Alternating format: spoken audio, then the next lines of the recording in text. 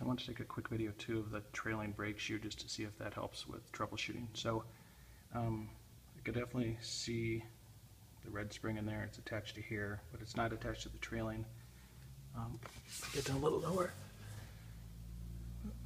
Let's see, yeah, I do see one down here attached to the trailing brake pad.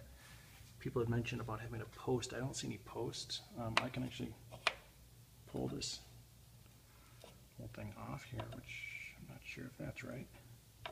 So hopefully this video also helps troubleshoot in regards to what's going on because as I'd mentioned, I can now, with both the wheels off and the transmission drum off, I can turn this thing all day long reverse and it won't lock up or seize up. So I'm thinking that it's probably something to do with these trailing brake pads. So hope this helps.